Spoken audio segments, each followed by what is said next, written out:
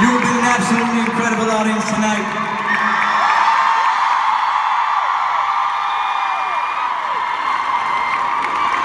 Are y'all ready for one more? Let's do it. We're going to...